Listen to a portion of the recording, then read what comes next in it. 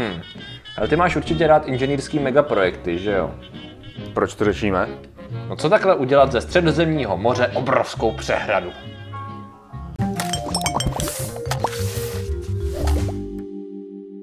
Zdravím lidi, já jsem Martin Rota, tohle je Patrik Kořenář a dneska řešíme... Dneska řešíme megaprojekt i, ale hlavně jeden. A sice takzvanou Atlantropu. Víš něco o Atlantropě, o Eh, projektu přehrady? No víš co, kdyby, kdyby si neřekl předtím, kdyby si nezařekl na začátku tu přehradu, jo, OK. Tak, bych ne, tak bych nevěděl, kdyby si řekl Antratrop, nebo an, Antlatropa. Atlantropa. Skvělý název, evidentně to neprošlo jenom kvůli tomu, že... Ale, ale potom jsem si vzpomněl, ano, že na uh, začátku 20. století tak byl tenhle ten ambiciozní projekt, že by se udělala mega přehrada vlastně ze středozemního moře, mm. protože středozemní moře je tak pěkně jako na to izolovaný a vlastně ty rozdíly hladin a i snad i teplota vody by přinesla velký proudění na to, aby se vytvořilo ohromné množství, množství energie. Ano, na hydroelektrárnách a takhle. No byl to projekt ve 20. letech. Uh, jeho autorem je německý architekt Hermann Sirgl. Sir, Sir, Sirgl, Sirgl. Vždycky když člověk slyší Herman, tak ho zklame, že to není Gering, co? Tak jo.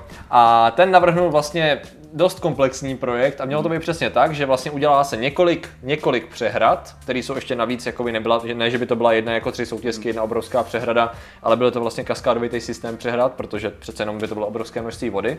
Ta hlavní by byla u Gibraltaru, jak má Gibraltar, tady propojuje středozemní moře s Atlantikem. A další vedlejší, ty by byly jak je Bospor Dardanely, že jo, jak je Turecko, No. uh, Suez a ještě mezi, chtěl udělat ještě jednu mezi Sicílií a Tunisem.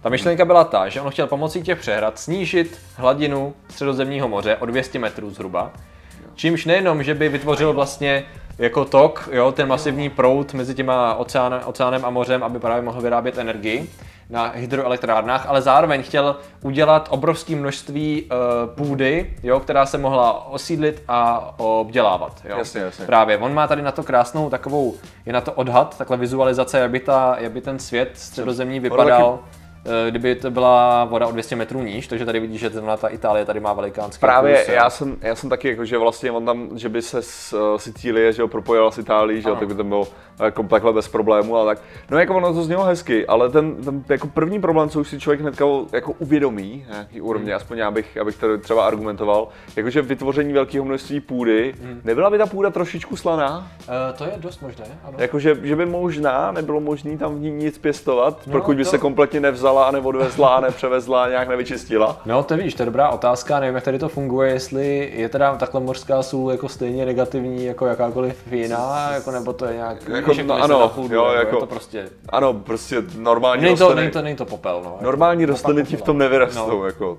Prostě. Takže bydlet by se tam asi dalo, ale otázka je, co s tím, co s tím obděl- obděláváním. A mě A tak tak jako spíš napadá ta věc, Kdyby si chtěl, kdyby si chtěl na takovýhle úrovni snížit hladinu o 200 metrů, to je obrovské množství vody, Mhm. kam s ní? Kam s tou obrovskou, obrovství, víš, jak, Tak já nevím, kolik to je vody, to se ani snad jako, nevím. Tak nějak, se to, nějak by se to předpokládám vypařilo jako z větší části. Jde, jde o to, jestli tam, víš co, já teďka ti neřeknu, že to pravdě bylo asi z toho jeho výpočtu, že vycházelo, že ty přítoky eh, do toho středozemního moře nejsou dostatečně velký.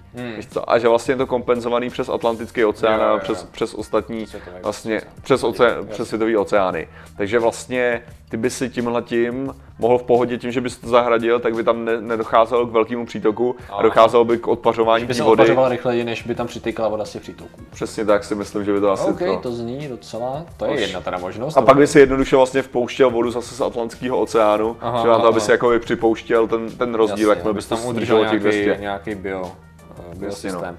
No, s tím, že samozřejmě ta jedna z těch věcí byla právě kolonizovat tu část a hlavně ta ideová, tam bylo hodně ideových myšlenek. On chtěl Mhm. vlastně propojit Evropu s Afrikou. Tady chtěl udělat právě mezi Tunisem a Sicílií chtěl udělat most v rámci té přehrady, takže to vlastně měla být taková happy eh, proto to byla Atlantropa, jo? Jako, Jo, jo. eh, jako A. Afrika s Evropou, Jasně. Atlantropa možná tam jako úplně Jak nesedí, ale jasně. že by vlastně byly tři velikánské jakoby, mocnosti, jako že by byla Asie, byla by Amerika, byla by Atlantropa. Jo? Jo. A tady by vlastně všichni spolu spolupracovali, měli by A spolu vládlo by tomu Německo. asi. mělo, by k tomu, mělo by k tomu blízko, že jo, všichni by k sobě měli blízko, mohli by po souši a takhle dál. A s tím, že samozřejmě jemu to hodně rozbilo, protože to bylo ve 20. letech, tak jemu to hodně brzo rozbili vlastně další politický vývoj. Ta myšlenka Jo. byla, že potom, co byla válka roztrha, po první světové válce, byl ten svět roztrhaný, tak on ho chtěl vlastně stmelit tím, že bude k sobě blíž. To byla ta... to byla Ale, to, ta... ale je tam nějaký, že jo, 200 metrů, jak říkáš, to není, to není málo, že jo. Mhm. Mm-hmm. Člověk prostě, to středozemní moře není tak obrovský, pravda, Mhm. mm-hmm. jo, ale stejnak, to by se muselo promítnout jako aspoň nějakým, jako, že, že víš co, Holandsko by muselo říct, tak, a, a, a, a, a. Tady, tady problém trochu malej, my máme s tím vaším projektem. Jasně, jasně, jasně. Co jsem ještě chtěl říct, že tady, tady vlastně v Holandsku musí mít nějaký ten způsob, že jak to řeší s tím slaným tím, že s tím, No tak, slanou vodou. eh, jelikož to mají taky systém přehra, tak já nevím, jestli to filtrujou. Musí to nějak jako vyfiltrovat asi. Ale, ale předpokládám, že to nedělají na dostatečně velkým eh, jako území, mm, vždycky na to, aby to bylo schopný to zvládnout, že jo? Jasně, ale když to jasně. prostě uděláš z ničeho nic, práska máš ohromný množství, Jo. no, tak vlastně je mnohem těž, těžší No, jasně, zvládnout to množství půdy. To je, to je otázka, no. Protože já jsem pak koukal na nějaký nákrasy, tady oni ukazovali jenom hrozně jednoduše. Tady byl nějaký hezký nákresy na jiný, na jiný stránce, jak tady, by tady byl různý systém, jo, tady byl most, tady byla, aha, vidíš, tady má nějakou elektrárnu nebo co, tady plavaly parníky, to je nějaká vizualizace. No, vypadá to všechno dost masivně teda, jo. Ale mně se, ale... mně se strašně líbí, jak se víš co, prostě věc, která je mrtvá. Jo, Mhm. mm. Chápeš, jakože tenhle ten projekt nikdy nevznikne. Mm. S největší pravděpodobností, protože to je věc, tohle to byla hlavně vytvořený předtím, než existoval ekologický, uh, ekologický, jak se tomu říká, movement. Jako hnutí. Jako No, ekologický No, hnutí, který prostě člověk si může říkat mnoho špatných věcí o ekologickém hnutí, já mnohdy, mnohdy dělám, ale zase Hmm. na druhou stranu je to i o tom chápat, že planeta je komplexní a že organismy jsou komplexní a, a to zahradit, za, vytvořit, takhle vytvořit malou přehradu, a to mluvíme jako o, o malou přehradu, velkou kur přehradu, jakože je velký zásah do Hmm. Jo, jo. celé ekologie a ekosystému. A vytvořit něco takového by znamenalo tak ohromný zásah. Že vůbec tam nebyly dělaný žádný studie v tom Přesně. smyslu, co, co všechno, je kolik tisíců milionů druhů, že by to ovlivnilo a jejich nějaký přirozený cesty a vývoj a tak dále Přesně a predátoři versus. A prostě jenom to odpařování a když vezmeš jako kam, kam ta voda vlastně by šla a jakým způsobem Mhm. by to musel narušit, jako to, to by bylo tak ohromný. Jo, jo, jo, koukám tady. Mně se líbí, ale jak ty, to, že jsou starý nákresy, chápu, ale se to furt někdo snaží popisovat. Já jsem to v životě neslyšel, je důležitý zmínit, že tady to nám doporučil divák v popisku, takže děkujeme za téma, jo. Ale uh, mě spíš zajímá, že furt ještě někdo se tomu jako věnuje ve smyslu, Právě, že udělá no. nákresy, udělá nějaký vizualizace, udělá ti prostě ty ústupy té pevniny. Tady koukám, že spousta řeckých ostrovů by se Stalo. spojila, spojila s pevninou. Ale to je právě ta zajímavá věc, že, jo? že my teďka máme, uh, jak bych to řekl, prostě v těch 20. letech muž řekli, hej, ty si udělal, tohle je blbost, jo. Mhm. Mm-hmm. A teďka, víš co, chudák chlap, jo, mrtvej prostě jakou dobu, a stejně jako furt ještě lidi dělají grafiku, proč je debil. Jo. Co, jakože. A teď důvod, proč by to nevyšlo, jo? A, a, aby jsme skončili, hele, nebo já, tady kámoš zrovna ještě dělal na další grafice. Jo, a zvědátoři budou dělat novou, nový video, který ti vysvětlí, proč jsi debil, jo. jako, jak je takový, Takže není to popularizace teda? mně se, mně se strašně líbí, mně se strašně teda líbí tahle ta jako lidská vlastnost, víš co, jakože udělal si blbost, vymyslel si blbost, my ti to budeme dávat se dělat ještě 100 let, no. Jasně, jako bylo to, eh, teoreticky ten nápad zatím byla hezká myšlenka, asi tak. To je spousta mimochodem projektů, tam je vždycky ta hezlá, hezká myšlenka, akorát pak vezmeš tu jakoukoliv realitu a z jakýhokoliv úhlu se na to podíváš, tak to je, tak to je blbost. Ale to- vlastně tady byly i ty projekty, že jo, když se chtělo taky vytvořit systém přehrad uh, v San Francisku, tuším. Jo?